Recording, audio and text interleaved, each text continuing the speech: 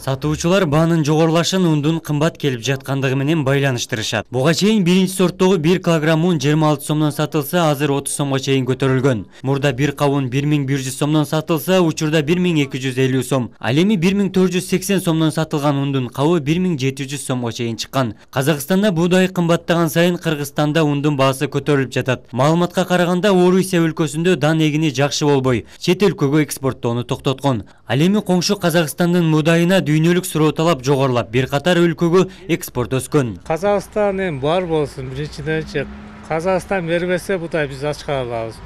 особенно ушу темеден да казакстандан да эми кымбатчылык бар эми кымбатчылык болот болбойт эмес эми. Бирок баарына шүгүр кылайлы бирок тиисинде карапайым адамдарга кыйын. Эми бир миң бир жүздүк ундарды алып жүрсө эми бир миң эки жүз элүүгө чыгып кетсе ошол эле кыйын да. Эми байларга баары бир экен каалаганы келип туруп ун кайра наоборот ун тандап кетишет э мына унуң кандай мына унуң кандай деп. Төрт жүз элүү беш жүз болсо деле алып кете беришет да бирок особенно карапайым адамдарга кыйын экен да. Ун сатуучу аматов ашим күз мезгилинен баштап ундун кымбатташына дыйкандар себепкер деген пикирде анткени жергиликтүү дыйкандар буудайды салыштырмалуу өтө аз өлчөмдө эккен себеби буудайдын пайдасы башка дан эгиндерине салыштырмалуу аз. Сатуучулар бышыкчылык убакта ундун баасы асмандап жатканы кооптуу дешет. Ундар эми ушул алды эки жүз сомго чейин кошулду аркасы жүз жүз элүү сом аркасы деле элүү сом кошулганы неме эмес жүз сом эң кам жүз сом ошо элге эле кыйын болду ошо элге эле причина ошо казакстан казакстанга көз карандыбыз ошол ундун көтөрүлүшү нандын баасына дагы таасир этпей койбойт бирок ош шаарында азырынча нан мурунку баасында эле сатылып жатат мындай өсүш улана берсе нандын баасы да жогорулашы ыктымал элде иш жок азыр биздин капчыкка туура келбей атат да мурун кичине болсо дагы үч жүз сом эки жүз сом арзан азыр үч жүзгө чейин кымбаттап атат азыр мамлекеттин өкмөт тамак аш коопсуздугун ойлош керек болчу да элде иш жок болгондон кийин баары капчыкка туура келет экен да азыр эл эптеп базардан тирилик кылып атат ошого биздин капчыкка туура келбей атат биздин чоңдор ойлонуш керек болчу мынагу казактардан арзан эле келет экен бул биздин ичибизде гана кымбаттап болушу мүмкүн деген ойдо атабыз монополияга каршы жөнгө салуу мамлекеттик агенттигинин ош шаары жана ош облусу боюнча жетекчиси бул көрүнүш бактылуу экенин билдирди ошондой эле нан ун кымбаттайт деген кооптонууга эч кандай негиз жок экендигин баса белгиледи жамболот айбашев тояштарда нан ашыкча эле ысырап болуп жатканын да кошумчалай кетти негизинен августтун этегинде сентябрь үчү болот анан технологический процесс боюнча бир ай кампаларда кармалат тыныгып андан кийин анан керектөөчүлөргө кой берет ошонун ичинде анан кыргызстанга да кой берсе кыргызстанга келсе бул маселе чечилет. Калай калк ушу нанга болгон мамилени этияттаса ысырапкычылыкка кол бербесе мына өзүң көрүп атасың. Той тамашаларда ресторандарда көптөгөн нандар жыйылып жыйылып анан кийин помой кыргытылып кетип атат адистердин айтымында быйыл буудай калкка жетиштүү бааны турукташтыруу боюнча тийиштүү кызмат бир катар сүйлөшүүлөрдү жүргүзүүдө маалыматка караганда буудай эки айда баштапкы наркына түшүп калат абдумалик базарбаев самат сейдамат уулу жаңылыктар уже экинчи жумага кетип атканын билебиз бүгүнкү күндө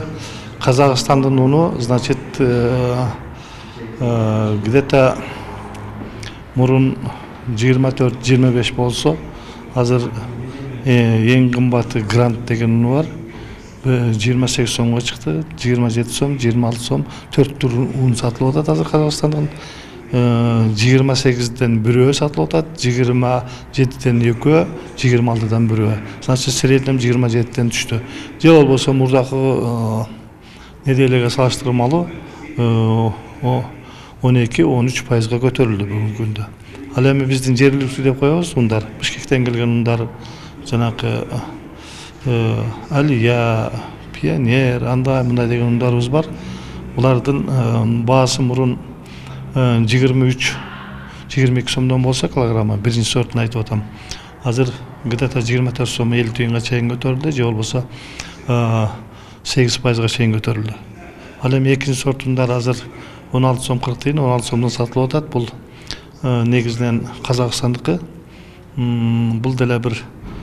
пределах бир экинчи сорт төрт беш пайызга гана көтөрүлдү ал эми биздин жанакы жергиликтүү буудайдан жасалган экинчи сорт ундар баасы көтөрүлгөн жери жок мурдагыдай эле он төрт он беш он үч он экиден сатылып атат азыр эми бунун азыр мен түшүнүп турам силер эмнеге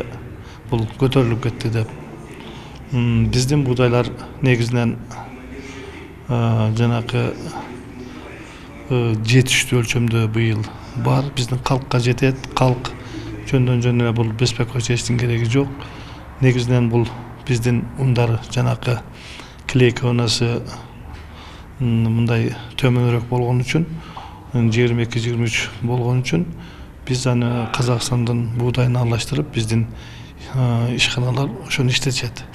Ошонун себебинен гана азыр жанакы көлөмдү бере албай атат дагы. Казактар азыр казакстандан келбей атат. Бул убактылуу нерсе. Эми өзүңөр билесиңер казакстанда данды жыйноо у нас негизинен августтун этегинде сентябрь үчү болот. Технологический процесс боюнча бир ай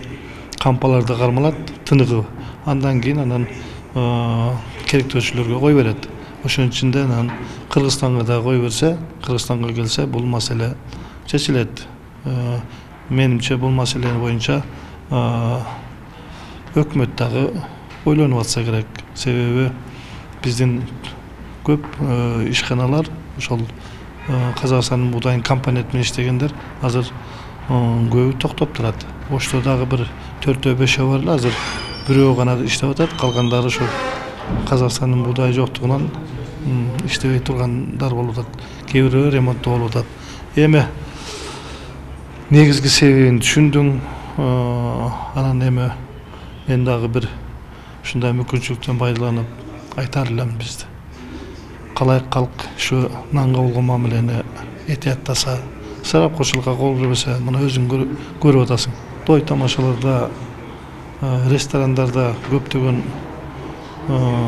нандар жыйылып жыйылып анан кийин помойго ыргытылып кетип атат. Бир дагы бул чет өлкөдө мындай мамиле нанга кылбайт. Биз эми нанга ушундай мамиле кылсак этият мамиле кылсак нан деле анча коромжо жибатпасак пайдалансак биздин деле ошол адамдарга жетиштүү пайыздаган болот эми дагы бир жолу айтарым калк негизинен ыжаат боло турган эч нерсе жок биздин буудайдын көлөмү жетет калкка жеткенде дагы жакшы эле жетет бирок эми жанагыдай компонент жок болсо көп мындай пышный нан болбойт ошентсе дагы биздин буудайдын нандары деле таттуу адамга жагымдуу ден соолукка пайдалуу нандар болот. Так что ыжаат боло турган эч нерсе жок. Негизинен жанагы ысырапкорчулукту этиятташыбыз керек